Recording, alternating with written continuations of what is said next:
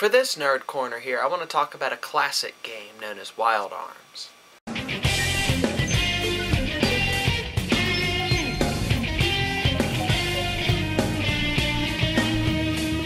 In this old school game for the PlayStation 1, you have a team of three, just three characters. RPG with only three characters, I know. In a Wild West meets JRPG setting.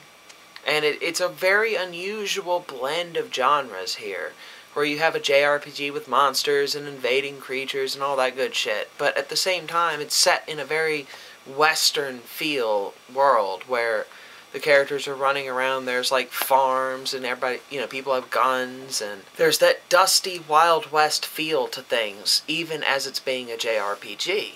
And it's more or less a splicing of genres that is unusual and highly successful. It was implemented in a simple yet complex manner. It is both at the same time, where with three characters, the mechanics are straightforward. Each character has a role, they fill it, and that sort of thing, but it uses the fact that it only has three characters to develop their roles into more varied uses. Like, your healer doesn't just heal, the magic user and all sorts of things go into it. Every character has unique different abilities and powers that make their use strategic.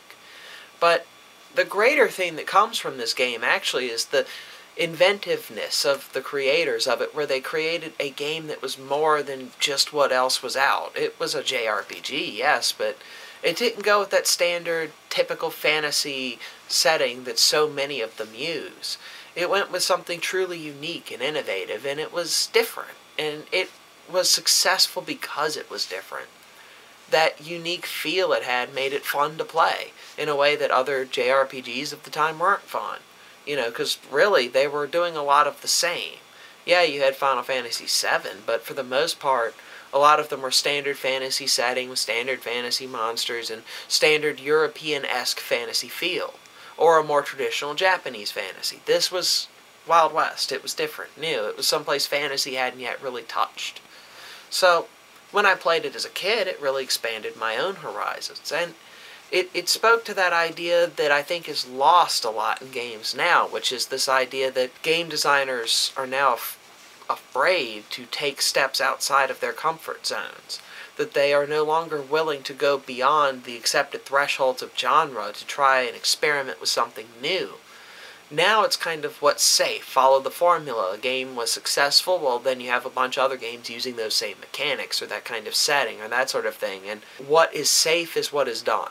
What makes money is what is worked with. And I think that's unfortunate because games like Wild Arms generally don't happen anymore, where a unique blend of setting and story and idea have come together for what could have been potentially a bad game, and some of the later Wild Arms aren't so good. But the first one was a shining gem because it dared to be different.